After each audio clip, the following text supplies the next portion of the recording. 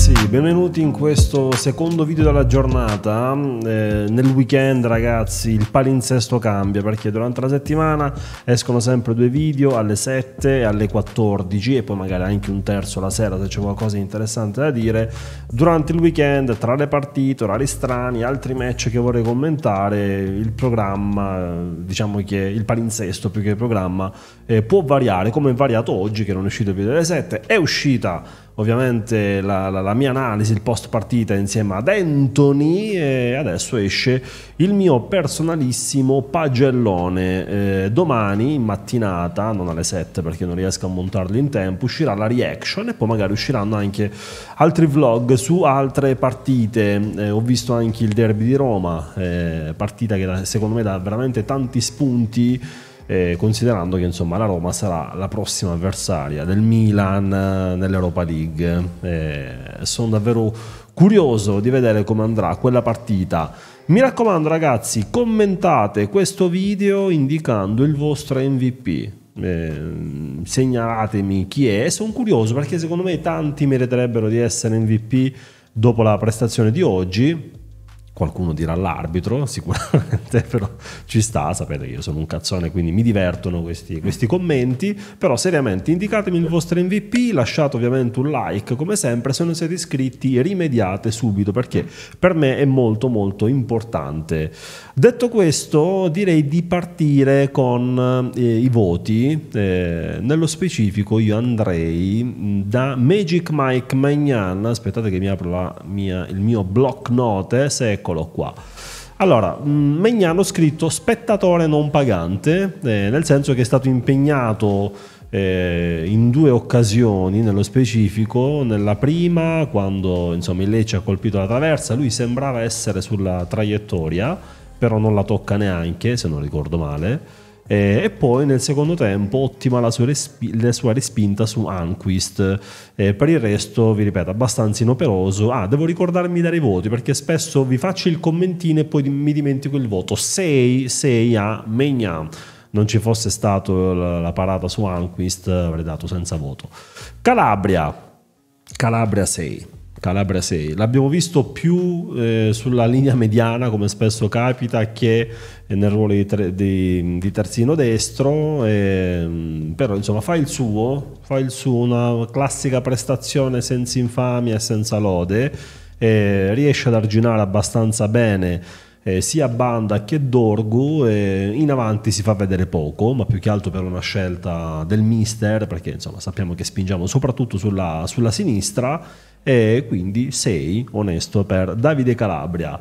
Gabbia 6 anche per lui, abbastanza ordinato, attento, lui ovviamente gioca perché eh, Ciao ha avuto un piccolo risentimento, una piccola fascite plantare, essere, essere tifosi del Mina significa avere una laurea ad honorem eh, in medicina tra elongazione, face, si imparano tantissime cose ti fanno il Milan. Eh, però vi ripeto, prestazione abbastanza tranquilla per Gabbia, quindi 6 meritato. Al suo posto Kier eh, dal quindicesimo del secondo tempo, do 6 anche a lui. Bella la chiusura a un certo punto, c'era un contropiede del Lecce e lui con estrema nonchalance col tacco riesce a, a, bloccare la ripartenza salentina. E ottimi ovviamente questi minuti in vista soprattutto della sfida europea contro la Roma. Tomori 6 anche per lui, eh, si vede che è in fiducia, è bello carico, poi lui ha sempre sta grinta, anche quando segna Giroud c'è lui che esulta come un pazzo e dà una carica ed un'adrenalina pazzesca. Peccato non averlo contro la Roma per, per squalifica, purtroppo, purtroppo. Hernandez 6 e mezzo. Allora, di base si vede che gioca col freno a mano tirato, secondo me ha un po' paura di farsi male eh, dietro gestisce abbastanza bene la situazione, non spinge tantissimo sulla fascia, però dal nulla tira quel bolide alla traversa, sta ancora eh, tremando, ha tirato da fermo ragazzi, non so con quale forza eh, lo abbia fatto, ma per poco spacca la traversa, grandissima conclusione. Dite Hernandez dal 38esimo si rivede Terracciano, mi ero anche dimenticato della sua esistenza, eh, senza voto ovviamente, Terracciano. Passiamo alla linea mediana, incredibilmente Mister Pioli, nonostante i quattro attaccanti puri in avanti, Leao, Pulisic, Ciuquese Giroud, decide di avere una tre quarti un po' più leggerina con eh, Adli e Reinders. Io pensavo giocasse Musa dall'inizio e invece no. Eh, Reinders comunque gli do un bel 6,5. La cosa che mi piace tantissimo di Reinders è che verticalizza, a parte che gioca sempre a testa alta, sta roba qua mi, mi gasa tantissimo, e poi verticalizza sempre un sacco di verticalizzazione, difficilmente ti fa il passo. Questo non significa, come dire, ostentare oppure fare la giocata inutile, lui è molto di sostanza, poche chiacchiere, molta sostanza, verticalizza davvero tanto. E infatti nel secondo tempo è arrivata una palla molto bella per Jovic, se non sbaglio partita dai suoi piedi, scusatemi se, se sto ricordando male, ma a prescindere da quella altre volte verticalizzato eh, quindi do 6,5 anche a Reinders. Dal 32esimo Benasser eh, senza voto, non ha avuto modo di, di mettersi in mostra e ha perso una palla abbastanza ingenua, però vabbè, l'importante è che sia entrato in campo anche qui in ottica minutaggio con la Roma. Bene così. Adli, sapete che Adli ha fatto una partita molto strana? Nel senso che eh, gli do 7, ve lo dico, perché secondo me ha fatto una prestazione, diciamo, da 5 e mezzo in realtà perché ha sbagliato tanto? Ha sbagliato molto più del solito. Eh, sia in fase di impostazione mh, mm, mi sembrava molto contenuto poche sciabolate sapete che lui di solito no? Eh, quindi era molto timido in fase di impostazione in fase eh, dire, di interdizione anche lì qualche sbavatura di troppo perché sul colpo de, di testa eh, del giocatore non mi ricordo chi ha preso la traversa in Lecce insomma quando ha preso la traversa lì lui se lo perde completamente eh, va a vuoto completamente a vuoto eh, però poi ti fa due assist e quindi come fai a non mettergli sette? il primo assist sul calcio d'angolo sul gol di, di Giroud e eh, nel secondo tempo quel, quel, passaggio meraviglioso ragazzi, quel passaggio meraviglioso per Leao. Se, se, guardate il replay soprattutto dalla camera verticale tipo su FIFA si vede proprio la palla che gira quei giri giusti ed è una goduria per gli occhi quindi 7 ad Adli. Impreciso ma impre, impreciso e imprevedibile. Buona prestazione comunque di eh, Adli.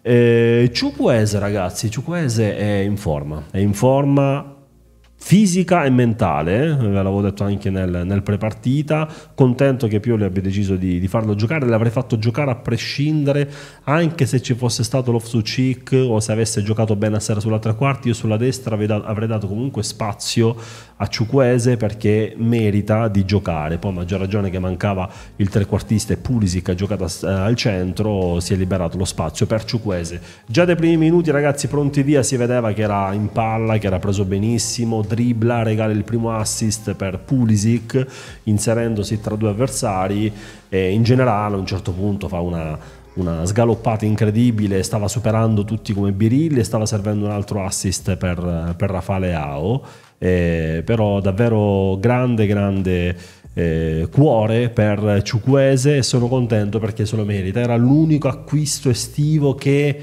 faticavo un po', no? Perché Reinders, Loftus-Cheek, Pulisic, che ve lo dica fare anche lo stesso Jovic, Okafor, tutti hanno lasciato un segno. Lui, a parte qualche squill europeo, poca roba in campionato, no? Iniziava qualcuno a storcere un po' il naso, invece adesso si sta riprendendo nel momento clou della stagione, quindi benvenga, abbiamo davvero bisogno di tutti, Ciucuese compreso, e, ehm, e suo anche ho segnato il costato sacrificato per l'espulsione di Krestovic e quindi eh, diamo, diamo, a Ciuquese qualche di Ciuquese. Eh, nel secondo tempo cala, ho segnato anche questa roba qua perché si è visto di meno, si è visto solo il suo costato nel secondo tempo, nel, mm, no lì era ancora nel primo tempo, nel secondo tempo invece come dicevo cala, cala però ci sta, ci sta, non facciamone ovviamente un dramma. Pulisic, ragazzi per me, per me lui l'MVP, gli ho messo sette e mezzo gli ho messo 7,5, 10 gol, 10 gol in Serie A.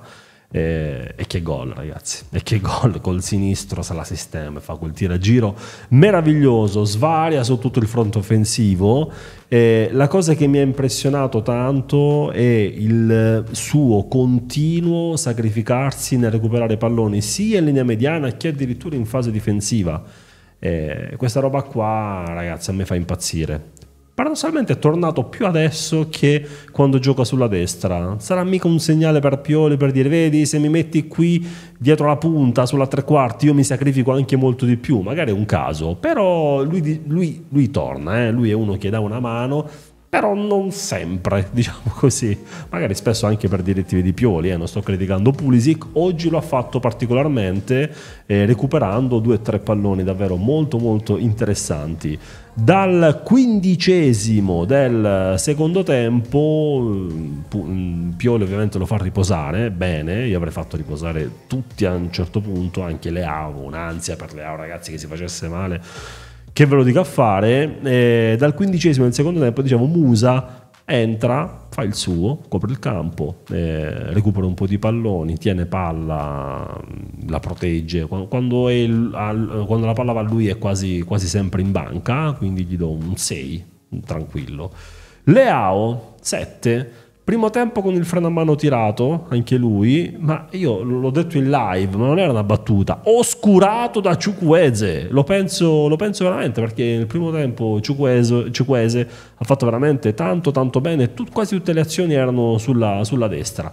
Eh, a una certa Pioli si è un po' inalberato, almeno da quello che ha detto il bordocampista durante la partita, perché dicendo, okay, diceva ok, ok, non esagerare, però insomma, datti una sveglia e la sveglia se la dà e decide di segnare eh, il suo settimo gol in campionato, il secondo di fila, ma è il settimo, ora non vorrei aver scritto una puttanata, quindi tempo zero signori, controllo, mi sembra di sì che questo sia il suo settimo, sì, tredicesimo stagionale e settimo in Serie A, quindi eh, il buon Leao ha, iniziato, ha ripreso finalmente a segnare e a prescindere dalla prestazione magari non eh, super eh, come dire non super per tutta, per tutta la partita si vede che è in fiducia, si vede che sta bene, si vede che prova le giocate, una certa si è messa a fare anche sin troppi tacchi per i miei gusti, però sta bene, sta bene Rafale Ao e secondo me è stato quasi lui a dire a, a Pioli che non vuole uscire, sono abbastanza sicuro di questo. Giroud 7, per lui gol numero 13 in Serie A, eh, segna di testa eh, e quando lo vede esultare così come un pazzo ragazzi mi vengono i brividi perché dico ma guardate se questo dopo aver vinto praticamente tutto Champions eh, Coppa del Mondo eccetera deve esultare così per un gol contro il Lecce con tutto il rispetto ovviamente per, per il Lecce no? e sta roba qua la dice, la dice lunga sulla qualità professionale di, di Olivier Giroud ci mancherà ci manca, non dico altro, altrimenti mi, mi, mi, viene a male, lacrimuccia, robe varie, però voglio fare un contenuto speciale per lo Sparviero, perché se lo merita tutto e nel post partita eh, ha fatto anche un riferimento alla, ehm, al suo futuro, dicendo insomma non, non, voglio parlare del futuro, sono concentrato sul Milan, sono un vecchio cuore rosso-nero, quindi sentire lui dire sono un vecchio cuore rosso-nero mi ha emozionato tanto. Dal quindicesimo Jovic questa volta non incide bene nella partita, di solito lui entra e riesce sempre a fare bene, gli do comunque la sufficienza, poteva fare meglio in un'occasione, se non sbaglio in quell'occasione dove vi dicevo che eh, c'è stata la verticalizzazione di Reinders, eh, però vabbè insomma eh, è entrato in campo, l'importante è che lui accumuli un po' di, di minuti. E nulla ragazzi, penso di avervi detto. Penso, penso, che a sto giro non mi sono dimenticato nessun giocatore. Sapete che io ogni tanto mi dimentico i giocatori oppure mi dimentico di dare i voti. Eh, a sto giro penso di essere stato abbastanza preciso e puntuale. Attenzione! Eccomi, eccomi, il video finisce qui. Io vi ringrazio per averlo visionato. Vi invito ad iscrivervi cliccando qui su questo tastino, su questo pallino qua e di vedere altri contenuti che invece vi lascio a destra e a sinistra. Per adesso è tutto e alla prossima.